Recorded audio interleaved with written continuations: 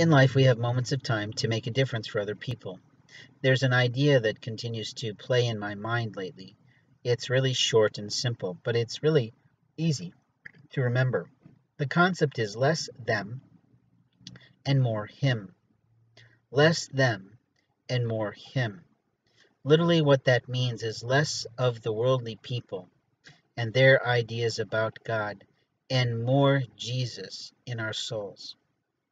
You see, I believe in the Christian faith and a few other different types of faith, but they all do recognize Jesus as Lord. Even the Asian beliefs that I believe in have a recognition for him as a prophet, as a teacher, as a brilliant man, as someone who taught about love. I believe even the Dalai Lama recognizes Jesus as a forerunner to faith. But that's not my point. My point is that in life, we have choices to make, literally, about how we're going to conduct ourselves in relationship to another person's life. We have to truly ask ourselves do we have rights in a person's life to damage their life, to put legal documentation on their name, to literally think we have the right to teach them a lesson in some way? If it's a litigious lesson, it's not a right. That is something that unfortunately the women of my family did not learn from my father like I did. You see, once you make a phone call to the wrong people, that life becomes interesting to those people. They will investigate, they will do all sorts of things, and they might just violate rights in the whole time and the whole process, proving that they are not on God's path. Less them and more Him means literally taking every single decision we make and saying, Is this the right way for me to go, Lord? Have I chosen the right person to be in love with, Lord? Have I literally put the right kind of foods in my body so that I am slender and in good shape all my life to prevent illness and disease? Do I make the right kind of decisions in my workplace? Am I honoring other people and their gifts and skill sets and talents? Am I helping them to achieve all of their goals so the company prospers? Am I literally prospering myself, or do I need to shift my job go to a new company, go to a new bank, literally get out of the field entirely, or move into something that my soul will be fully served in. Sometimes in life, our paths are not about prosperity.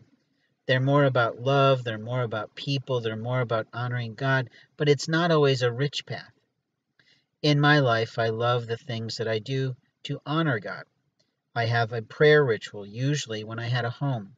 I had an altar that had beautiful things on it things that sadly some of which have been stolen from me out of my locked home and out of my locked storage units because people just don't practice less them and more him.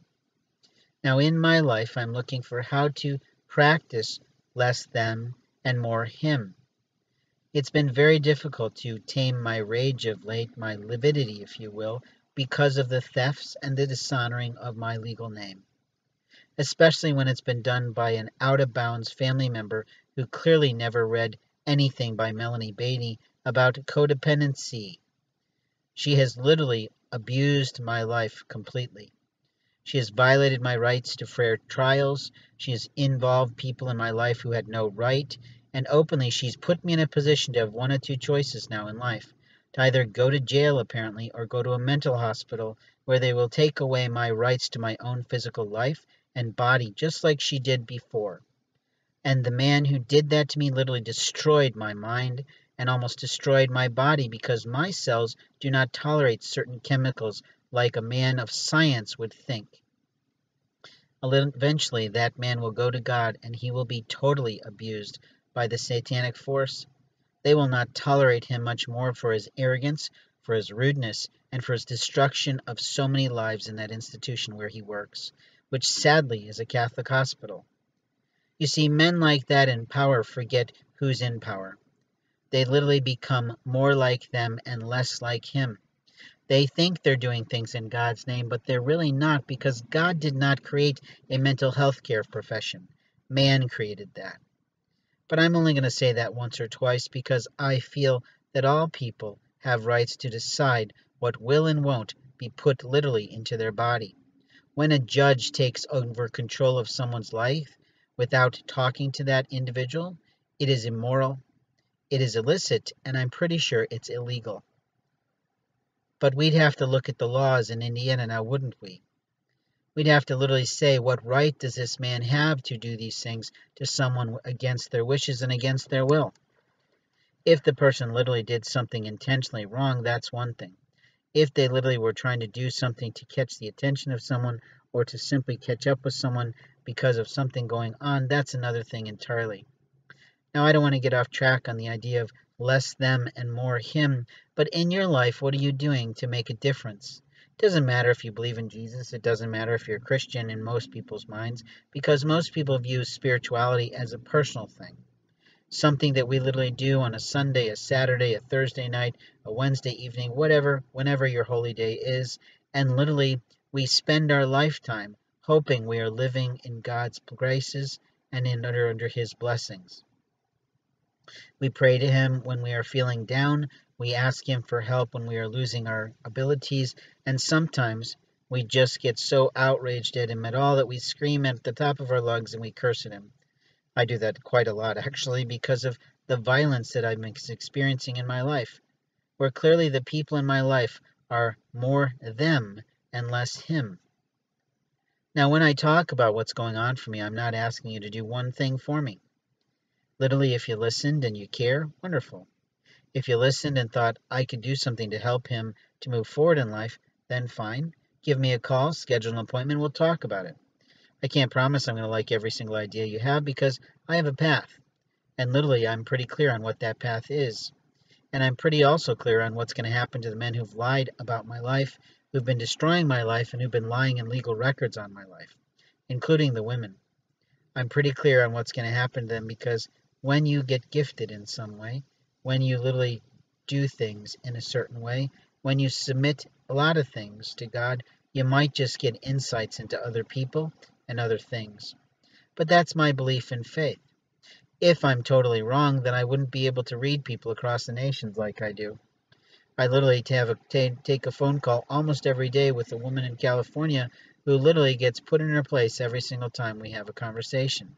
She gets off track in this idea of more them and less him, and I simply shift her thinking back to less them and more him.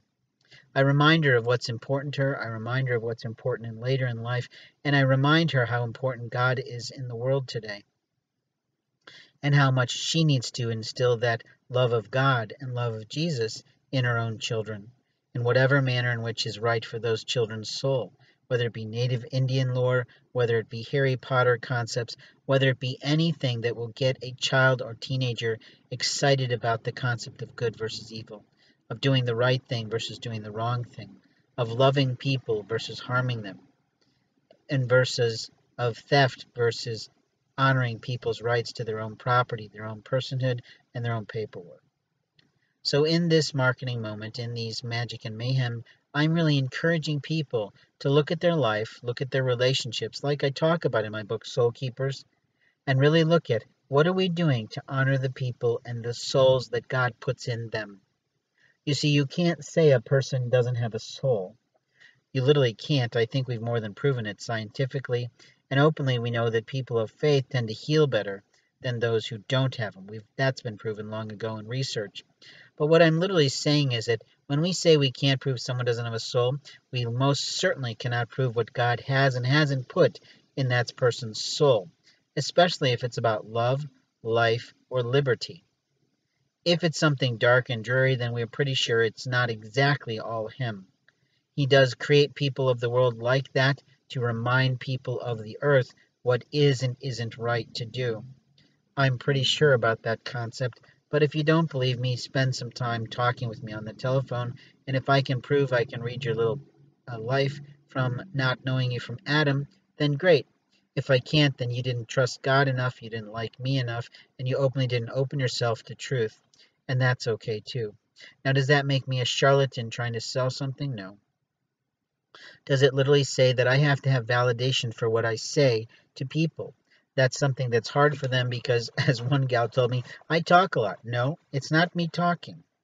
If it was me talking, I'd probably be a lot more short, with short-winded, a lot more curt, a lot less tolerant, and openly, when I share something important, I sort of expect someone to literally write it down, so I don't have to try and remember every little aspect of their life.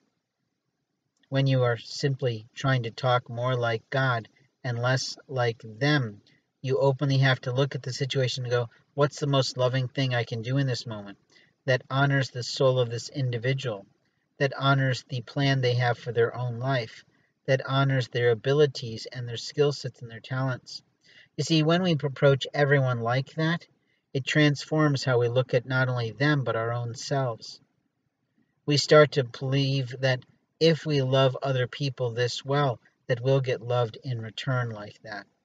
So you see, when I'm talking about less them and more him, I'm really talking about a position in life where we really look at what we're doing, what we're saying, how we're interacting with people, what our responsibilities are for that interaction completely, whether it was intentional or not, but practically. We make an impact on people's souls, hearts, and minds. And if we're doing anything to violate Lord God's rule of love God above all others, do not lord over people's lives, then maybe we're off God's path. This has been Blake Ensign of Blaze Communications talking about magic and mayhem, but more importantly, trying to encourage you all to be less them and more him.